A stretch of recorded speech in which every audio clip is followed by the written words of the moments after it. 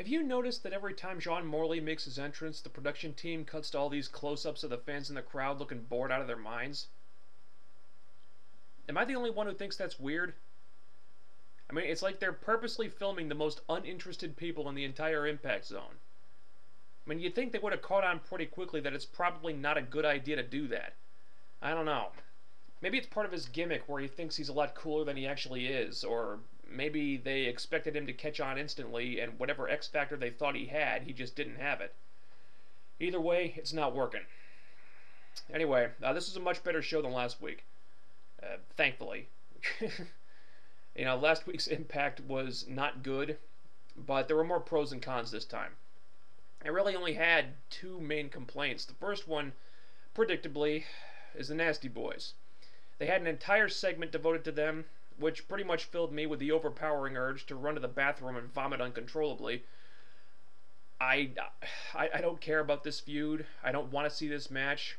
I don't want to see those two aging, repugnant fat asses, Knobbs and Sags, hobbling around the ring, sucking up pay per view time, while Team 3D try like hell to carry them to something that's even remotely watchable. And if any of you guys actually want to see that, then there's something wrong with you. And yes, I stand by what I said before. If the Nasty Boys are on this pay per view, then I am not ordering this pay per view. I'm boycotting against all odds.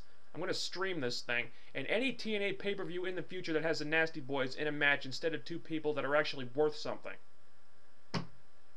So I'll be streaming or downloading against all odds. My second complaint was the X Division title change. Now, I don't have a problem with Doug Williams winning the X title, but how this came across on TV, how TNA presented this, just completely killed the whole segment for me. And you have an X Division six man tag, way too damn short, but good while it lasted. Then the British Invasion come out, and you think, hey, maybe this is where Rob Terry's going to cash in his title shot. But then they seem to be arguing. It looks like Doug Williams might get it instead. And then they cut to a commercial at the worst possible time. By the time they come back from commercials, Doug Williams has been given the title shot, and the entire match has already taken place. So we come back just in time to see him hit his finisher, win the title, see Rob Terry looking pissed off, and then they go back to more commercials. We come back from those commercials. There's no replay. There's no follow up on the title change. They don't even mention it again. It's like it never even happened. You can't do this, TNA. You can't treat title changes like this. If AJ Styles lost the world title, you sure as hell wouldn't present it like this, would you? No, of course not. You shouldn't present any title change like this for that matter, because it makes the title change and the title itself look absolutely meaningless. At the very least, you needed to follow this up somehow with a post match interview with Amazing Red being upset or Doug Williams celebrating or something. You needed something like that. If you had just taken one of the 50 Jeff Jarrett segments or Hulk Hogan segments or Eric Bischoff segments and given that time to these guys, that would have made a lot of difference. But that's not what we got, unfortunately.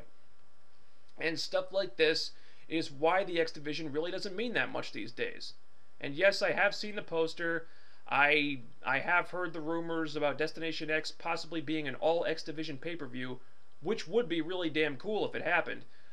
But considering how unimportant the X Division has been made to look lately, they're not going to do a good buy rate on that thing, no matter how good the matches are. And that is 100% their own fault because of stuff like this.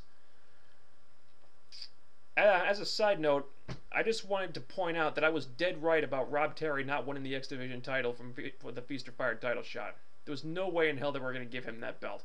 Anyway, aside from those two problems, Impact was pretty decent, I thought. Uh, they had a nice hook for Against All Odds with this number one contenders tournament to set up the main event for Lockdown. It's definitely good that they're setting up Lockdown as early as possible. And as long as they can get all their ducks in a row for that pay per view this month, then the build-up wouldn't suffer if Destination X was an All X Division showcase, despite Destination X usually being the Lockdown pre-show. Uh, some other things I liked, they're obviously teasing a few with the Motor City Machine Guns and uh, the Young Bucks slash Generation Generation Me. I, I, can't call him that. I'm sorry, I can't call him Generation Me. Um, you know, but uh, you know, I'm, I'm chopping at the bit to see that feud. Can't wait for it. Unfortunately, it might be a while before it happens due to Alex Shelley having some bulging discs right now. but I do I do think that feud will happen sooner or later. Also, um, I like the writing with Hogan and Bischoff. Um, my feelings on those guys haven't changed, but I do think the writers are doing a pretty good job of uh, with them right now. How they're both walking a pretty fine line between face and heel, and you're always wondering which side, which way they're gonna go. Um, I think it's pretty obvious that Bischoff is going to be heel ultimately, but they're doing just enough to kind of put a hint of doubt in your mind, and that's that's being very well done, and it's, and it's a good hook to keep people tuned in. Uh, having said that, I don't think Bischoff needs as much screen time as he's been getting. And yes, Bischoff is one of the more one of the most interesting characters on the show right now, but dude, you ever hear of less is more? I mean, there's no reason for him to be getting this much screen time. It's getting to be overkill now. and finally, uh, news has come out that Impact will be moving to Mondays permanently to go head to head with Raw starting in March. Uh, TNA hasn't announced this yet officially, but uh, it looks like it's more or less a done deal. And this, to me, seems like a really risky move. I mean, yes, they got a 1.5 against Raw January 4th. That was one time. Okay? That was just one time. And a big part of that was because they had the debut of Hogan and a firestorm of publicity coming with him. Now the publicity's died down and the novelty of Hogan is kind of worn off a little bit. Plus, they haven't been able to match that 1.5 rating since then, which shows that they couldn't hold on to all those new fans who tuned in. And since then, they've been doing 1.3s, which they were able to do several times last year without Hogan and Company. And yes, this week they got a 1.4, their highest rating ever on Thursday. Congratulations, TNA, that's all well and good.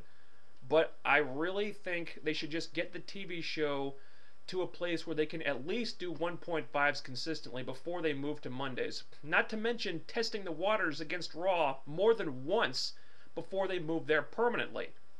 Why don't you do another Monday special and see if you can get a solid rating against Raw under normal circumstances before you totally jump the gun? I mean, what if you move to Mondays and then the publicity dies down, you can't sustain the numbers, and the ratings start to tank? Then you're screwed. Oh, and by the way, you're also going to have to deal with Monday Night Football now eventually. And did you did you consider that before you made this decision? Because football could seriously kick your ass. I don't know. I mean, it really feels like they're getting ahead of themselves to me. But you know, the ratings have never been stronger. I mean, Spike TV seems to be coughing up more money for promotion now. So, who knows? I mean, maybe this will work out, maybe it won't. I don't know. Time will tell on this one, I guess.